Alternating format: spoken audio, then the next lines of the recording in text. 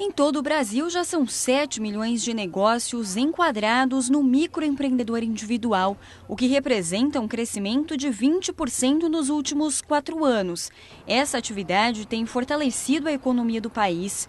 Para melhorar o desempenho desses profissionais, recentemente o governo aprovou uma nova regulamentação para o MEI. Entre as principais medidas está a mudança do teto de faturamento, que antes era de 60 mil reais ao ano e agora passa passa a ser de 81 mil reais. Não limitado a divisão aí de 6.700 por mês, é 81 mil reais, então isso quer dizer que ele pode faturar 15 mil no mês, é, 3 no outro, 4 no outro, então a média em 81 mil. Isso é importante porque dependendo da atividade econômica que ele é, optou por ter, é, isso representa é, de forma significativa a sobrevivência dele no mercado. Então, em que ele se isenta de, de ter uma empresa dita normal, uma microempresa, em que ele tem uma carga de tributos um pouco maior e que ele tem obrigações fiscais um pouco maior também, que requerem, por exemplo, pagamento de um contador, que requerem outros tributos que acabam onerando a atividade dele e deixam ele menos competitivo. Além disso, novas categorias foram enquadradas no MEI, como serviços médicos, pequenos produtores de bebidas alcoólicas, como cervejas artesanais, podem optar pelo Simples Nacional, se estiverem inscritos no Ministério da Agricultura. Em contrapartida, outras categorias perderam o direito de serem microempreendedores individuais. É que tem algumas é, atividades que foram desenquadradas é, pela, pelo fato da Receita Federal não querer é, incluir no, no rol dos, dos MEIs qualquer tipo de profissional liberal, então foi desenquadrado a princípio o personal trainer e também o, a figura do contador, do profissional é, liberal contador, certo? E tem algumas atividades também que estão sendo incluídas agora no decorrer do ano.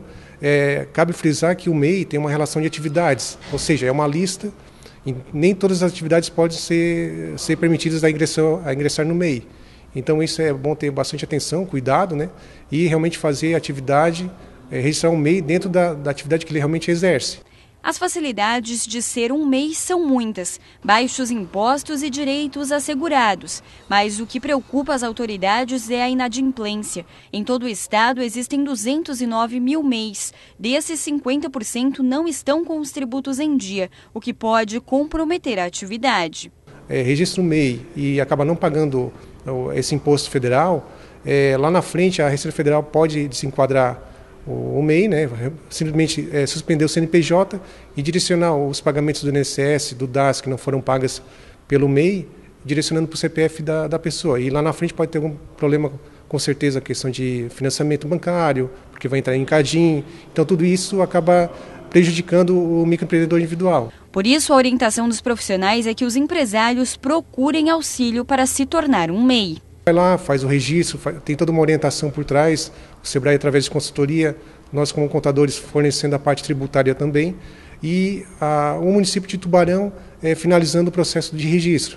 Então tudo isso de forma cômoda, bem facilitada, e isso vem acontecendo desde o ano passado, aliás, de 2016, e é importante também é, para todo empreendedor realmente é, procurar a informação. Então procure via Sebrae, via Sala do Empreendedor, o nosso sindiconte também está sempre à disposição e com certeza todo esse, esse trâmite facilita muito a abertura dos pequenos negócios. Muitos profissionais que até então trabalhavam sem um registro perdiam negócios, ou seja, se tornavam menos competitivos por não conseguir dar uma nota fiscal.